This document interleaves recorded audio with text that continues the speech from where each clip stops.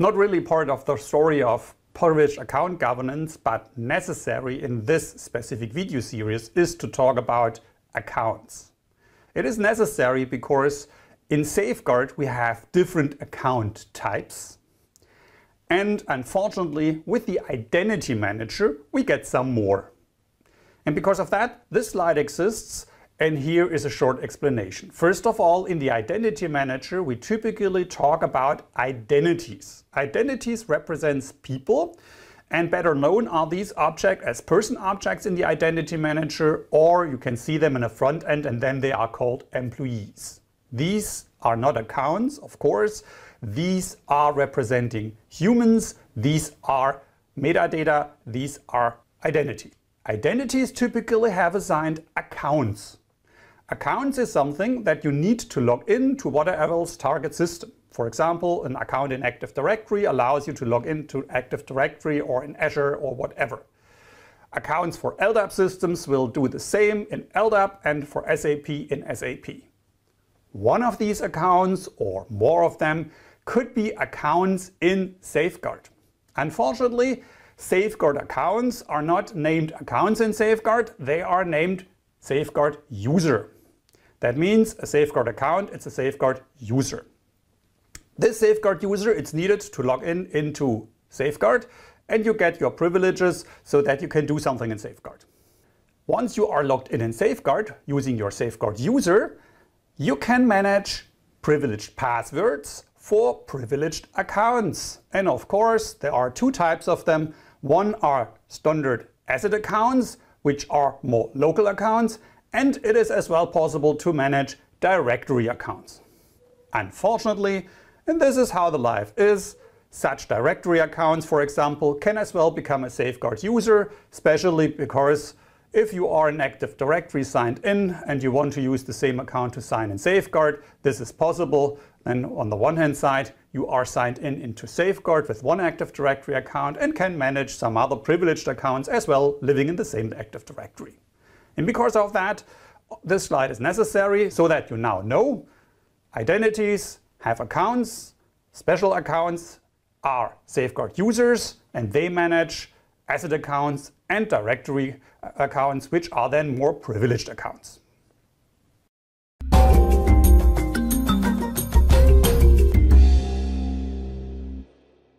In this specific scenario, I want to use the Identity Manager to provision a safeguard user. And to do so, I need a person uh, that will place the order. And this specific person here is uh, Randy Dotin. Randy Dotin is, as you can see, a person only having an Active Directory account. Here we are. And additionally to this Active Directory account, this person wants now to get access and safeguard as an administrator, and therefore he wants to order an administrator account in Safeguard, which is a Safeguard user. Therefore, we need our standard web front. That is the web front the business typically use, and we have to place in as Randy. Here we are. And I like to place my request. I want to request two things. The first uh, thing is the account itself, and the second thing is access to one of these safeguard groups.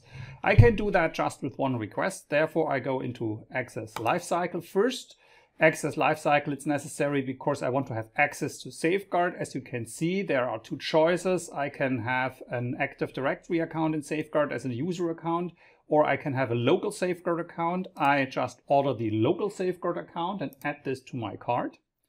That's my first thing. And secondly, I like uh, to add to my card uh, another request. So I start another request here, Active Directory groups. No, I want to have PAM groups and users.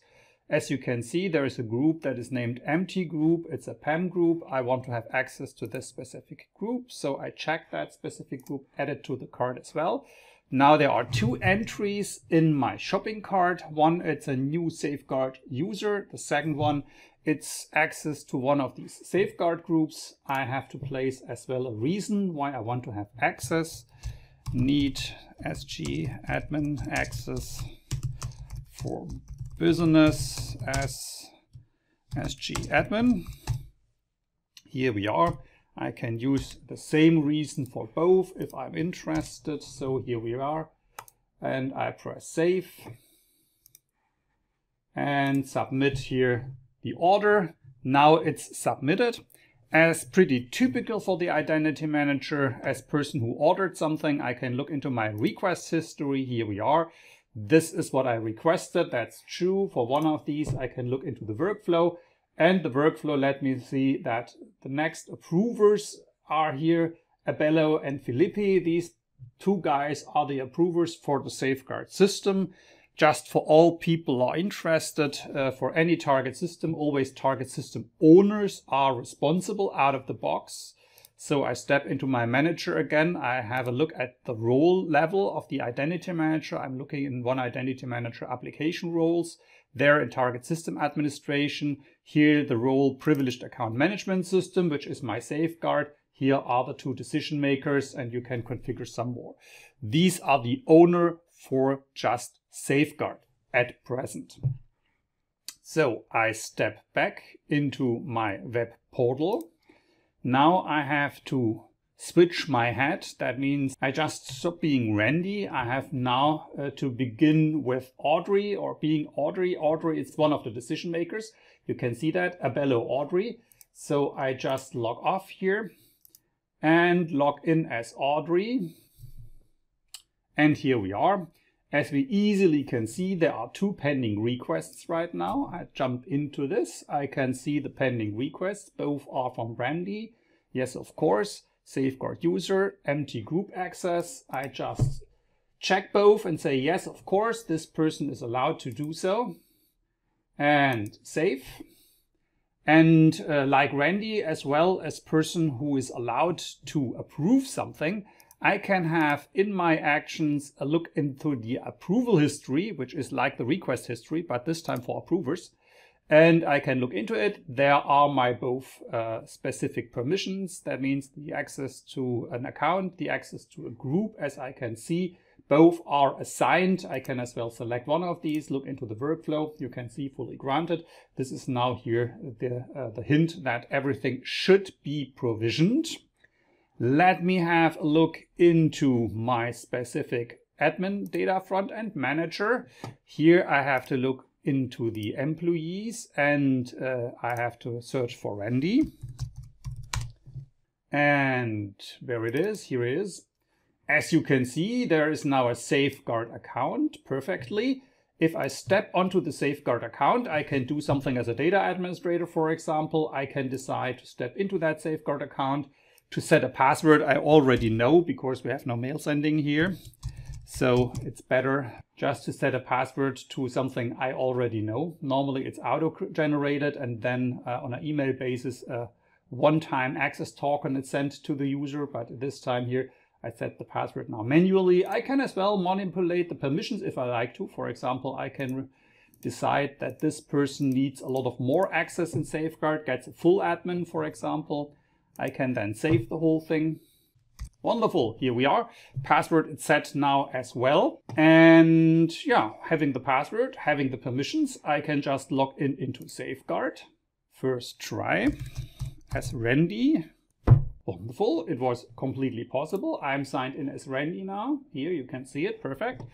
And if I look, for example, here into the configuration user and look for that Randy guy as well, then there is my safeguard user, and this safeguard user should now be member of the empty group. Here we are.